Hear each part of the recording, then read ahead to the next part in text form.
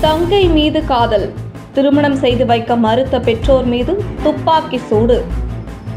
விழுப்புரம் அருகே கண்டாச்சிபுரம் அடுத்த கடையம் கிராமத்தைச் சேர்ந்த கண்ணன் மகன் பாரதி. இருபத்தி மூன்று வயதாகும் பாரதி சிறு வயதிலேயே தாயை இழந்து பரிதவித்து வந்த நிலையில் அவருடைய தந்தையும் மகன் பாரதியை கண்டுகொள்ளவில்லை. இதனால் ஒரு ஆதரவும் இல்லாமல் சிறுவயதில் பரிதாப நிலையில் பாரதி வாழ்க்கை இருந்துள்ளது.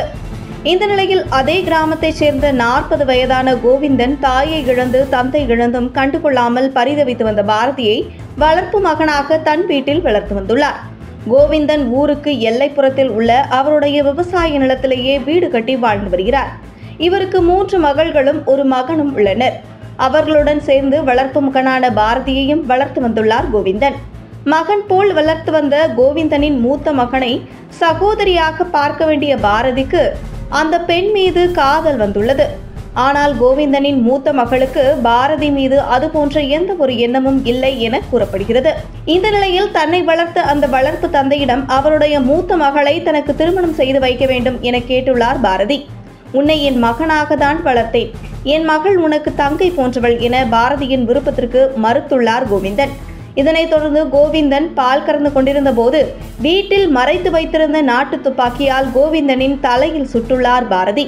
இதில் இரத்த வெள்ளத்தில் மிதந்த கோவிந்தனின் அலறல் சத்தம் கேட்டு வீட்டினுள் இருந்து வெளியே ஓடி வந்த அவருடைய மனைவி கலையம்மாலையும் நாட்டு துப்பாக்கியால் காலில் சுட்டுள்ளார் பாரதி. கணவன் மனைவி இருவரின் அலறல் சத்தம் கேட்டு அக்கம் பக்கத்தினர் ஓடி வந்ததை பார்த்து பாரதி நாட்டு துப்பாக்கியுடன் காப்பு காட்டில் தப்பி ஓடிவிட்டார். ஐயோ பெத்த பிள்ளை மாதிரி வளர்த்தீங்களே. உங்க வீட்டு சோற்றை சாப்பிட்டு உங்களையே துப்பாக்கியால் சுட்டுவிட்டானே என அக்கம் பக்கத்தினர் துப்பாக்கியால் சுடப்பட்டு ரத்த வெள்ளத்தில் கிடந்த கோவிந்தன் மற்றும் அவருடைய மனைவி கலையம்மாவை பார்த்து பரிதாபத்துடன் கண் கலங்கினர். தொடர்ந்து அக்கம் பக்கத்தினர் துப்பாக்கிச் சூட்டில் பாதிக்கப்பட்ட தம்பதியினரை மீட்டு ஆம்புலன்ஸ் மூலம் முண்டியம்பாக்கம் அரசு கல்லூரி மருத்துவமனைக்கு அனுப்பி வைத்தனர். அங்கே அவர்களுக்கு தீவிர சிகிச்சை அளிக்கப்பட்டு வந்த நிலையில் தகவல் அறிந்து சம்பவ இடத்திற்கு சென்று கண்டாச்சிபுரம் காவல்துறையினர் விசாரணை மேற்கொண்டு வந்தனர்.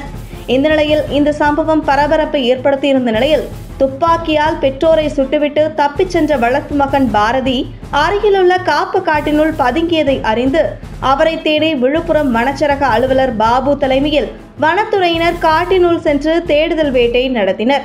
இதில் பாரதி போலீசாரால் கைது செய்யப்பட்டார்.